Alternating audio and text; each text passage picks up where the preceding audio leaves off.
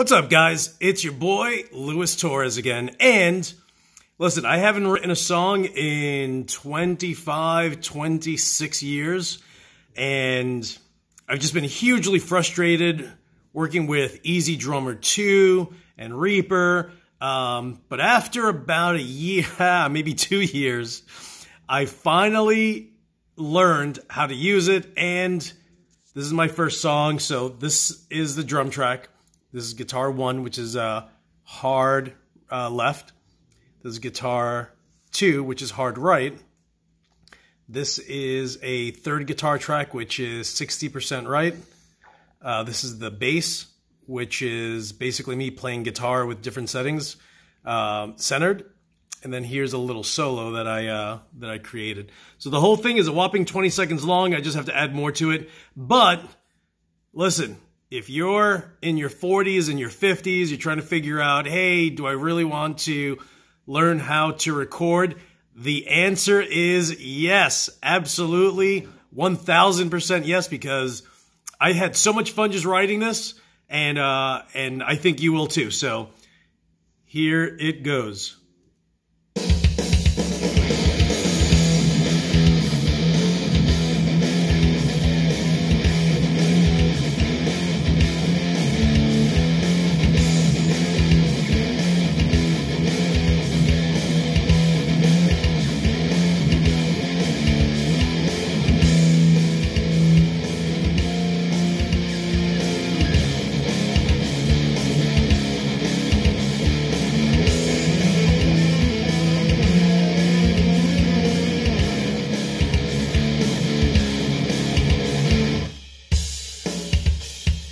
More.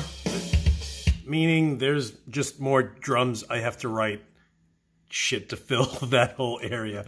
Um, but it's been fun, man. Listen, I finally, I, I, I feel like I finally got over this giant, massive hump yesterday.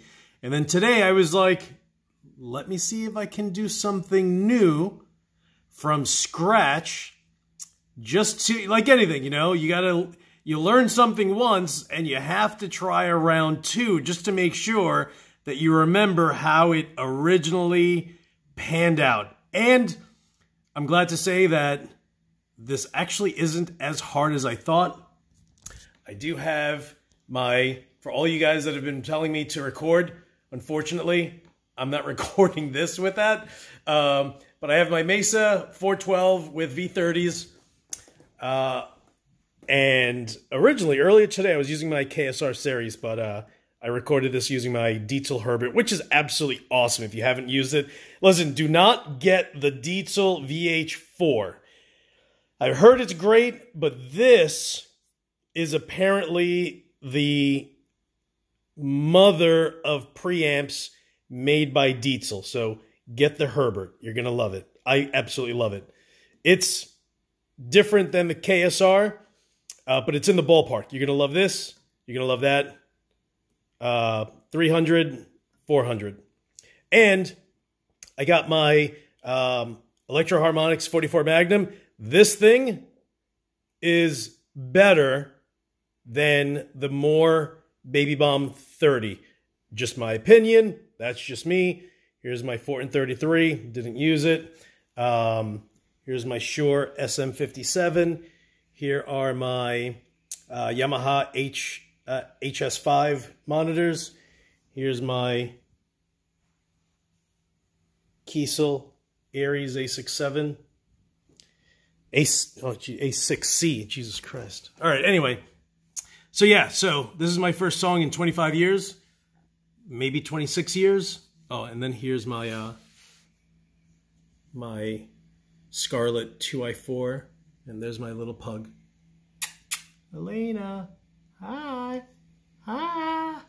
Hi. She's an oldie but a goodie. She's a 10-year-old rescue, right, baby? Who's that? Who's who's that? Oh, who's that? Attack. Attack. Who's that? All right, guys. So yeah, so definitely check out Reaper. I have Reaper. Uh, let me just go to that. There it is. So I have Reaper on here. Uh, I think I paid 70 bucks for it, 75 bucks. Um, I don't have EZDrummer, which is absolutely awesome. This thing, I guess, I think it's 150, but I bought, I bought it when they had a, um, a discount. So I think it was $25 off or something like that.